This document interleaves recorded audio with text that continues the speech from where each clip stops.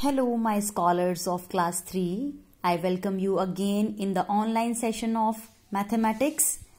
Here, children, first of all, I congratulate you to get through your class 2 with good marks. Now, let us start with your class 3 here. Myself, Mrs. Sumita Sharma, welcome you again in class 3 as I have taken class 2 mathematics also online. So, you all are very familiar with my voice. So, let us start with the syllabus first.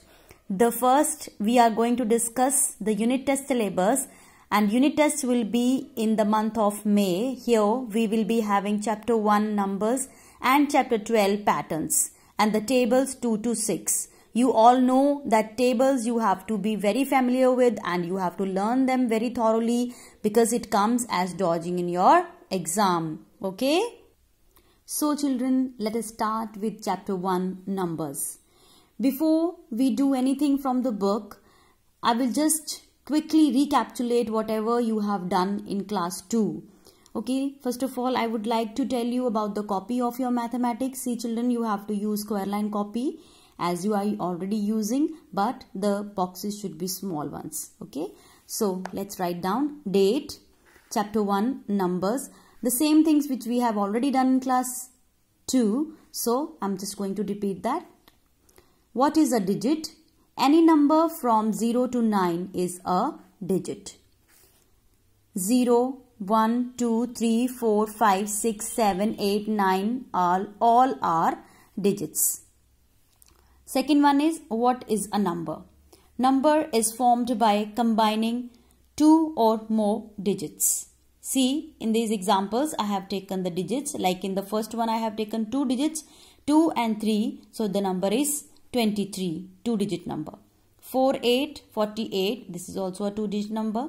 Then in the next one, I have taken three digits, 1, 2 and 0. It is 120, the three-digit number. Then 342 is a three-digit number.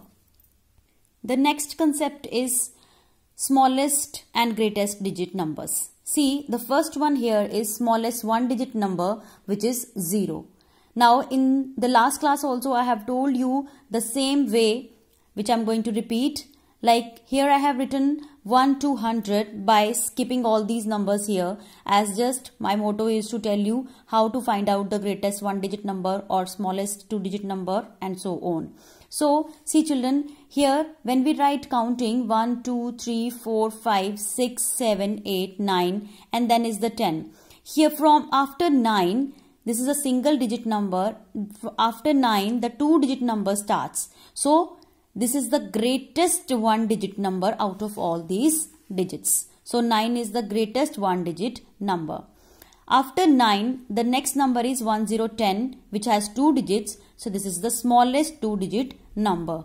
And while moving till 99, we will get 9999 which is the greatest two digit number. And the next one is 100 means 100. This is the smallest three digit number.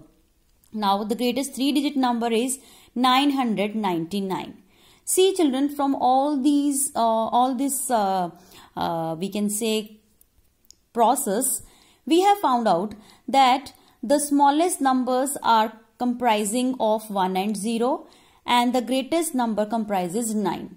So you have to remember that whenever it is asked that write the smallest two digit number, you have to use 1 and 0 and when it is asked greatest two digit number, you have to use both 9s.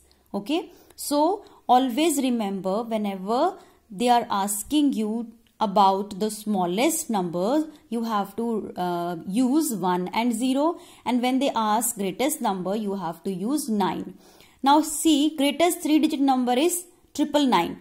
Now this is your homework. You have to write down smallest four digit number.